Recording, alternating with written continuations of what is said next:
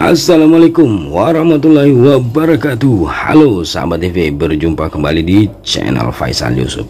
Kali ini kita akan menjawab satu pertanyaan dari sahabat kami yaitu bernama Angdiki 1939 yang bertanya di konten kami tebar padat ini.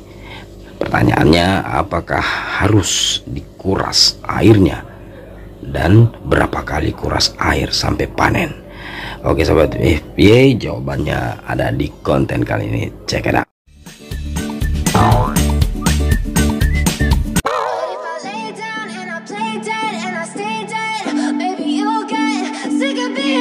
Sahabat TV yang berbahagia terutama buat sahabat kami Ang Diki 1939 yang bertanya mengenai uh, pengurasan uh, air kolam ketika kita melakukan tebar padat di kolam kecil ya. E, pertanyaannya ini juga dia bertanya apakah berapa kali kuras air ya sampai panen? Apakah sekali seminggu sekali sebulan ya? E, jawaban kami sahabat TV dalam pengalaman kami e, kami itu tidak pernah uh, menguras air kolam di saat kualitas airnya masih bagus. Itu pada intinya ya. air kolam itu tidak pernah kita kuras pada saat kualitas air kolam itu masih bagus. Ciri-cirinya apa? Ciri-cirinya kalau ikan masih bernafsu untuk makan itu kualitas air masih sangat bagus ya. Akan tetapi sahabat EV eh, dalam praktek kami menguras air kolam itu kami lakukan di saat kami melakukan sortir sortir ya.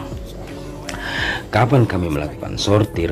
Yaitu sekali sebulan jadi di setiap kelas-kelas itu mulai dari kelas 0, kelas 1, kelas 2 dan kelas 3 di kolam kami kami itu melakukan sortir setiap satu kali sebulan. Ya. Jadi kami menguras air pada saat sekali sebulan.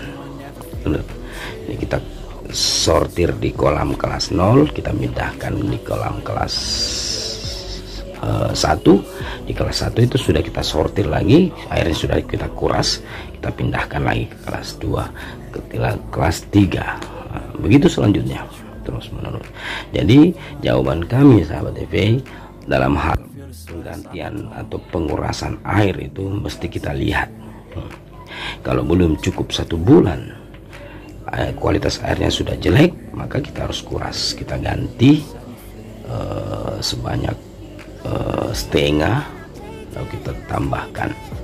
Ya kalau sangat parah kualitas airnya jelek ya kita ganti semuanya. Ya itu dalam uh, kalau belum cukup satu bulan. Tetapi setiap bulan kami itu pasti menguras karena kami menyortir.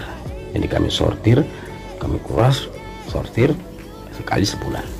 Oke sahabat kami Andiki 1939 itulah jawaban kami. Mudah-mudahan ada manfaatnya dan Abang uh, Diki bisa memahami jawaban kami.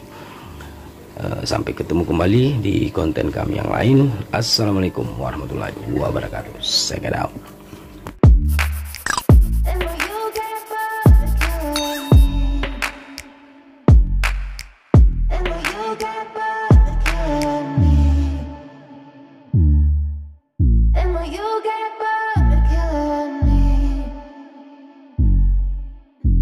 you got